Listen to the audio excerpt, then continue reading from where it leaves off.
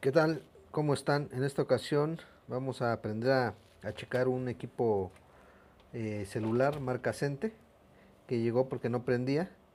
Su pila le faltaba carga, pero me decían que el conector estaba flojo. Ya lo soldamos y aún así la batería no carga. ¿Qué hacer para saber si es el cargador, si es eh, la entrada de USB, si es la pila, ¿qué hacemos? Lo primero que hay que hacer es checar que, que nuestro conector USB se encuentre en perfecto estado. ¿Cómo vamos a saber esto? Eh, lo vamos a conectar y vamos a ver en el conector donde va la donde va la, la pila lo vamos a quitar y ahí vamos a checar al momento de conectar lo que es el USB el cargador, vamos a checar que en las terminales haya voltaje. En este caso, con un multímetro vamos a checar.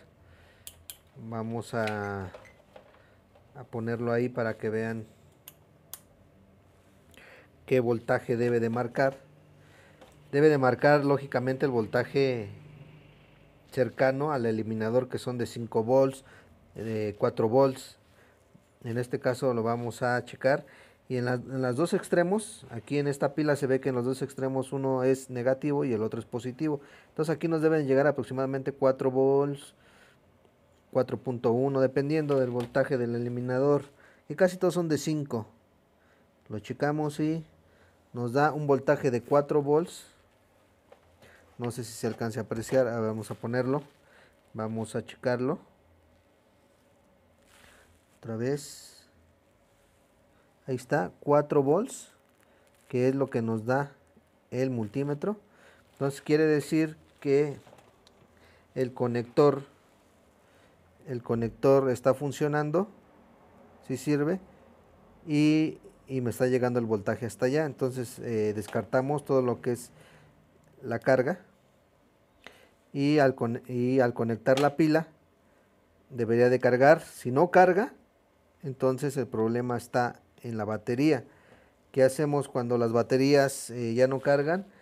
Aplicarles un voltaje mayor para que tomen carga, porque muchas veces este, eh, se dejan de descargar por mucho tiempo y las baterías luego ya no toman carga. Y ya si metiéndole más voltaje, no sé, unos 8 volts, 9 volts, si ya no tomó carga, ahora sí hay que reemplazar esa batería. Ya no hay más que reemplazar la batería. En este caso lo único que hicimos fue resoldar lo que es la entrada USB y checar que nos llegara voltaje acá en el conector de batería. Como si llegó, después pusimos a cargar eh, la batería con un eliminador eh, de 9 volts y ya cargó. Entonces la pila estaba muy baja, por eso no tomaba carga. Y ya con eso quedó solucionado el problema de este equipo marca Cente. Ahí se ve que ya, ya prende. Y es lo único que se le hizo a este equipo. Bueno, nos vemos el siguiente video. Hasta pronto.